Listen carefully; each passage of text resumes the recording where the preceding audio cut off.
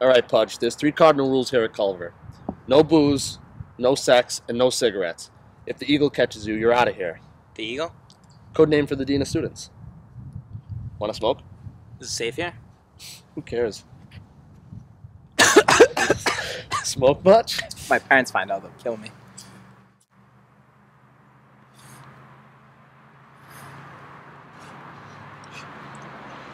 I know you're exaggerating, but you're going to get in trouble. 99% of the time, your parents don't have to know. The school doesn't want your parents to think you became a screw up here just as much as you don't want your parents to think you became a screw up here.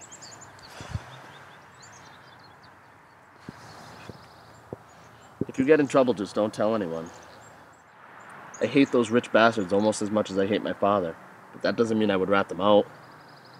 Pudge. Pudge, look at me. The most important thing at Culver Creek is to never, ever rat. You hear me? You paying attention? Uh, yeah. Got it.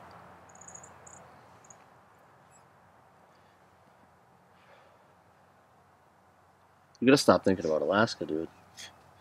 What? Alright, let's come to the point in the evening where I gotta go find my girlfriend. Give me some of those cigarettes you're never gonna smoke, and I'll see you later.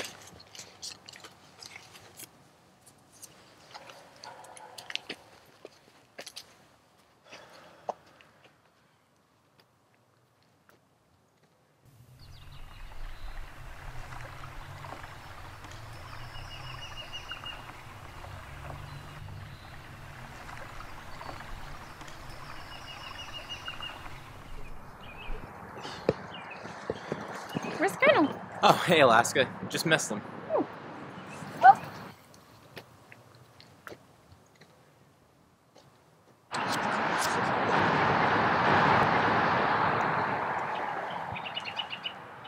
So, do you really memorize last words?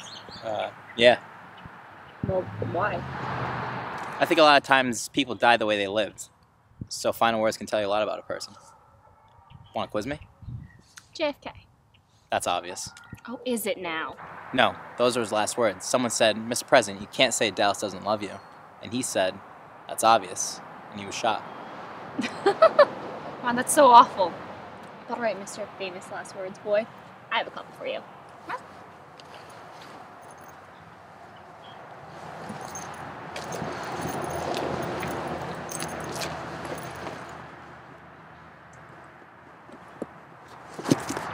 The General and His Labyrinth, one of my absolute favorite books, and about Simon Bolivar. Do you want to know what his last words are?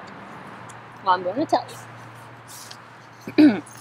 he, that's Simon Bolivar, was shaken by the overwhelming revelation that the headlong race between his misfortunes and his dreams was at that moment reaching the finish line. The rest was darkness. Damn it, he sighed. How will I ever get out of this labyrinth? So what's the labyrinth? Well, that's a mystery, isn't it? Is the labyrinth living or dying? Which is he trying to escape? The world or the end of it? Hmm, I'm not really sure. So have you really read all those books in your room? God, no. I've read maybe like a third of them, but I'm going to read them one day. But there's so much to do cigarettes to smoke, sex to have, makes a zip line. I'll read when I'm old and boring.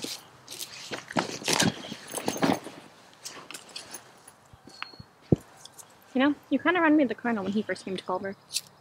How so? Well, we were both freshmen together, both scholarship kids, and we both had an interest in booze and mischief. Now, the Colonel was smart, but he hadn't done much living. I changed that pretty quick.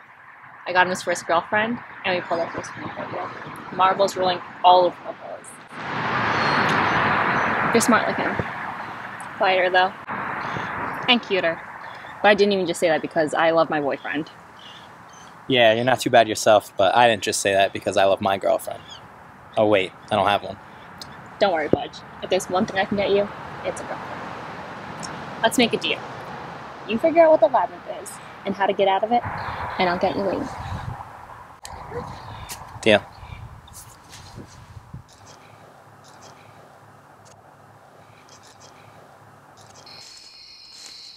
Hey Pudge, when you're walking at night, do you ever get kind of creeped out by the darkness and even though it's dumb and embarrassing, you just want to run home? Yeah, actually. Run.